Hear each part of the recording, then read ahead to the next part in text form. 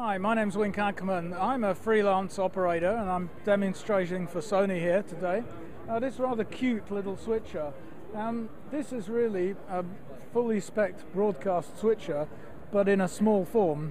It's ideal for small scale live video production or for corporate live communications.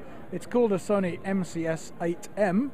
It's a snappy little name. It's got eight inputs and four outputs, and you've just seen it's got an integrated audio desk as well.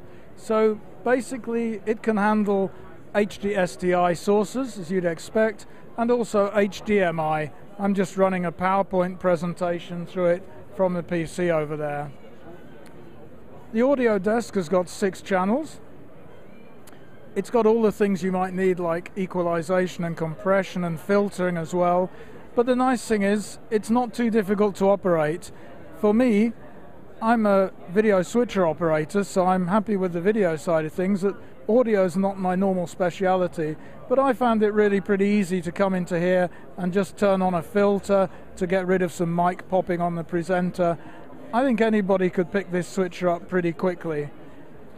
So price point I understand is around about the 5,000 euro level, um, which is pretty fantastic for a product with so much performance.